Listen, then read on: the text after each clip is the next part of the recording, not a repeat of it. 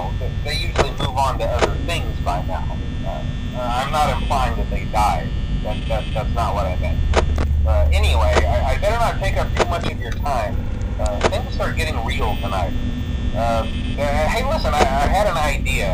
If you happen to get caught and want to avoid getting stuffed into a Freddy suit, uh, try playing dead. You know, go limp. Then there's a chance that uh, maybe they'll think that you're an empty costume instead. Then again, if they think you're an empty costume, they might try to stuff a mental skeleton into you. I wonder how that would work. Yeah, never mind. Scratch that. It's best just not to get caught.